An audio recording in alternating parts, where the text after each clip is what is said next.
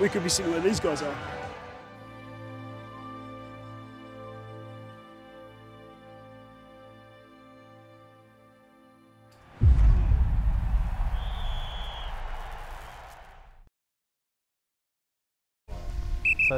go under, go under, go under.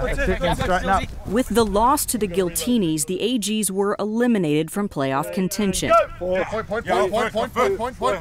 As they prepped for their final contest with Old Glory DC, the mood was subdued. Go.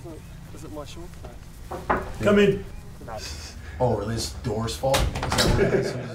Sam organized exit type interviews with each of the AGs. so how are you feeling about things? I feel good. Are you frustrated? No. Overwhelmed? For most, the talk was positive, a look toward their futures with the team. For this meeting is to determine, or for me to let you know whether I want to keep you around or whether I want to let you go, and then what that looks like either side of the coin. So, from my point of view, mate, I'm really keen to keep you around. You've done an amazing job this year. Oh, I can't thank you enough for the way that you've assisted, um, followed, um, led, and been a good foil for me, and a good ear and a good voice of reason for my decisions. And yeah, so thank you for that. Thank you guys. It's been incredible.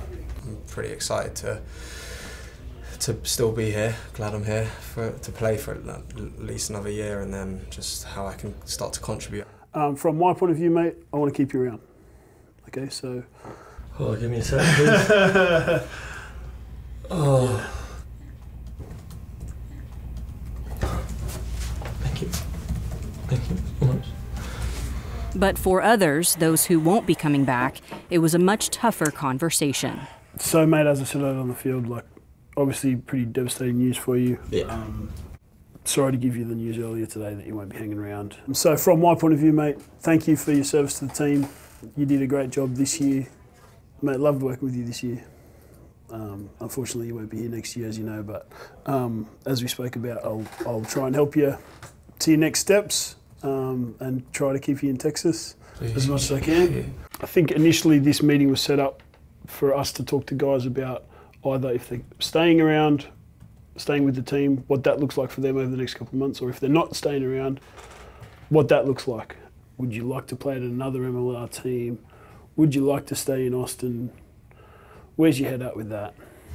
Uh, I don't know. I haven't thought about it fully yet. Whatever you want me to do in terms of pushing you to other MLR teams or international teams, just let me know and, and I'll do it. Are we thinking like a release or a trade? Uh, we can do either. I mean, I would rather a release, and just have the freedom to pick my own team. Yep. Not too sure. Yeah. This Give is it time hard, to but I think. really thank you for mm. everything that you've done. Sure. There could be something here, mm.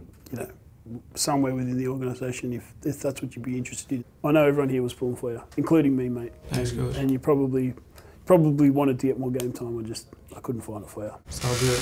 You I understand. Got you. Cool. Happy thanks, thanks, bro. I appreciate everything, guys. I really do. It's been great having you. Thank you. I really appreciate it. It means a lot.